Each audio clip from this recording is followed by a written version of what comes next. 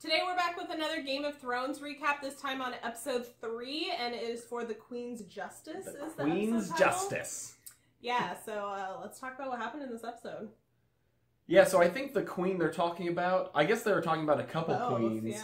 Probably more Cersei, Uh. but let's start with Daenerys because that's where the episode starts out. Yeah, we start with Jon coming to uh, Dragonstone and encountering the dragons because up until that point they were just hearsay. So he got a nice little introduction to them. and Daenerys would not let this whole Bend the knee. yeah thing go. Mm-mm. Seems like it's causing a little bit of problems because he was like, "I'm not here to do that at all." She's leaning the way of her father just a little bit with this, and it's a little concerning. I worry for our baby girl.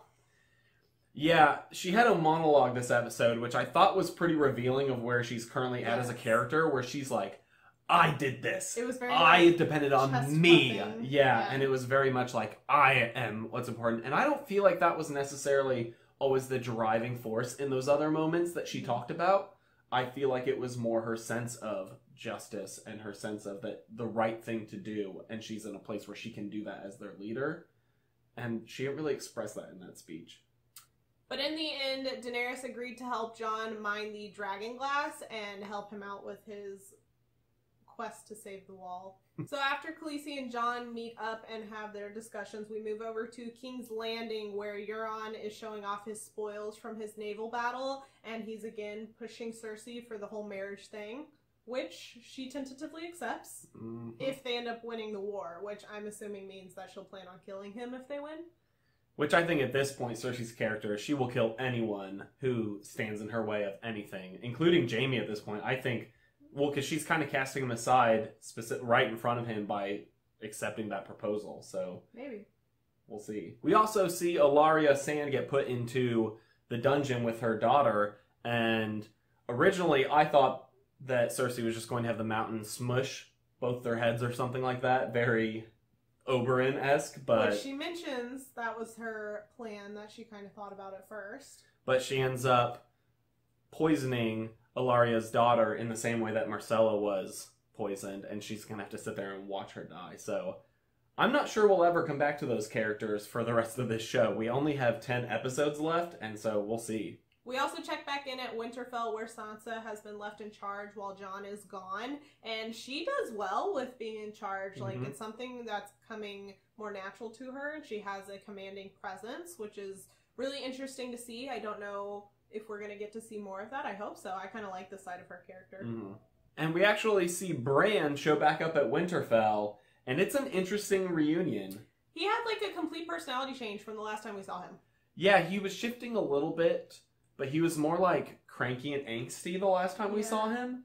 But in his trip through the woods after Hodor died, he has completely lost all emotion. That was one of the parts of the episode that felt a little bit rushed. His character development, because you're like, wait, how do we get here? And I guess I can accept it, but it did feel. Well, and they had the girl who was with him, which I cannot remember her name, but they spent a lot of time doing some character development with her. What was it, last season or the season before? hmm And she just like stood there. Yeah, we were joking with our friend that at this point, some of these characters who got almost whole episodes devoted to them in previous seasons of the show have now been like- relegated to cameo They status, just where like they pop in like, hello. Yeah they just pop in the background and be like, "I'm still here and alive," and then they're out of the show, like, and they don't exist. So really, it's Daenerys, Jon, Sansa, and Cersei is our story. Throughout this episode, I will say that the story felt a little rushed in most areas that we got to, besides maybe like the Dragonstone part. And I'm confused as to why they're doing that because they shortened the season.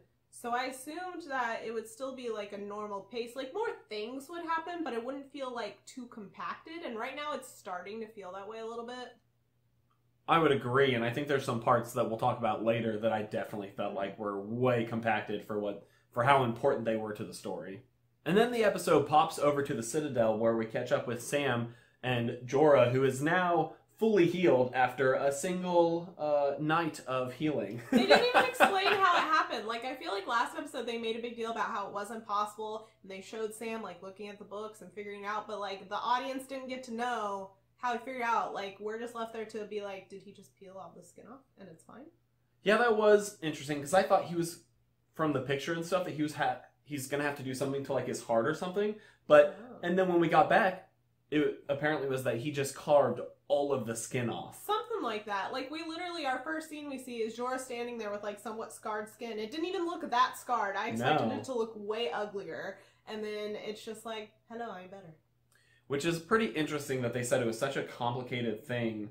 And but if all he was doing was cutting off this infected skin, I don't feel like that's that complicated. it felt like a little bit of a like, here is this thing and now it's done. Like I just. Yeah, I think it was also because Jorah's storyline, that was two full seasons of his storyline going to that moment and being, you know, diseased and having to leave Daenerys. And I feel like they wrapped it up really quickly. The last time we saw Jorah, I really expected to come like full circle with his story and go in depth with his journey for getting healed and coming back to Daenerys, and it just So I'm really hoping his story goes someplace because this part, like other parts of this episode, felt a little bit rushed for how much build they had towards it. The conclusion of his sickness was very quick. So speaking of being rushed, let's get into the parts we thought were the most rushed things we have seen in this show, and I am not the happiest about it. And that's the two battles, if you can call them that, at the end. Yeah, there were two major battles at the end that could have been huge set pieces. The battles both at Casterly Rock and Highgarden just like showed the armies like rushing in, and I think at Casterly Rock we saw them like climbing the walls a little bit, but then all of a sudden it's Grey Worm at the top of a building and everyone's like conquered and whatnot, and they figure out that what they were looking for is not there, and then we switch over to Jaime's crew attacking Highgarden, and it's just like And that one was probably the most egregious yeah, because Olenna looks out and the whole army's walking. but we don't even see them get to the And I guess artistically, it's a cool scene where the, it's like his back framed, and it's like, and Jaime walking, But and this just, is Game of Thrones. Give me carnage. Give me violence. Give me the battles that are so cool. Like what? so this big siege, he ends up walking through, and everyone's already dead. The battle's already done, and he just walks in, and it felt a little cheap, to be honest. We felt a little cheated for what should have been two giant sieges that they could have spent a good chunk of this episode on, and it was like the last ten minutes of the episode for both. They better have some epic battle scenes later in the season or towards the end of the season to make up for this. Yeah, I'm really hoping they have a Battle of the Bastards level moment because that episode just showed us when they take their time and really flesh out a big battle, how good those scenes can Yeah, be. Yeah, this episode seemed like a slap in the face to Battle of the Bastards. Like A little bit, yeah, when compared side by side because two epic battles turned into, you know, a little flash forward. We did get one cool scene out of one of these battles, and that was Jaime confronting Olenna Tyrell. As always, Olenna is a breath of fresh air where he I walks in her. and she goes, How are you going to kill me? Yeah, basically. You going to chop my head off? You going to throw me out the window? Well, no, the first thing she asked was like, "Did we fight well?" And like, what a classy lady. Yeah. How did we fight? Did we do well, even though everyone's dead? Yeah. Do we at least put up a fight? Do we have our honor a little? and then, so she ends up drinking wine because Jaime puts poison. And I also thought that was so funny because he puts the poison in the glass and she just goes.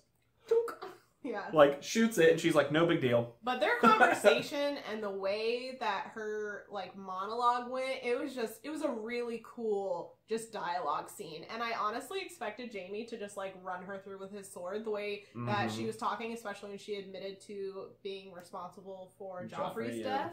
And uh, he just like walked away, and I was just like, man, Olenna, that was a good death.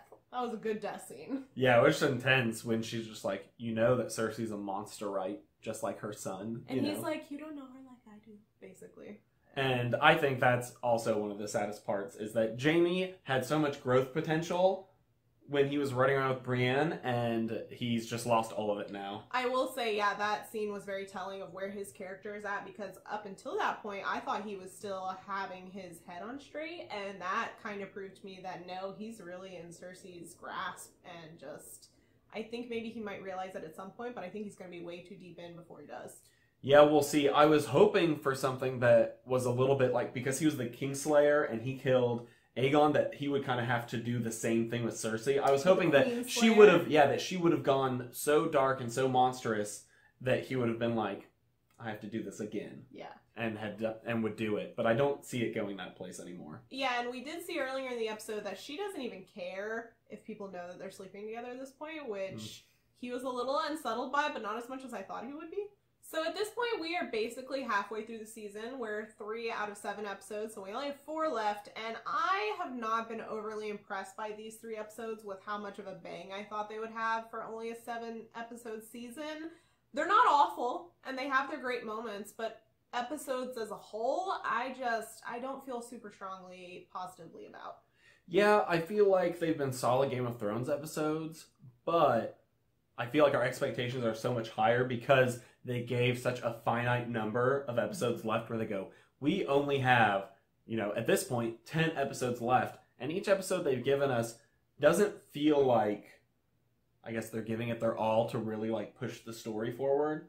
Or at least in this episode, when the pacing suddenly goes off and it Mhm. feels like it's moving way too quick, like they're trying to cram it. in. It's like, well, why'd you give yourself less episodes? Yeah, so we're really hoping that it picks up as we go. I know we've said that in every recap, but we're still hoping for it.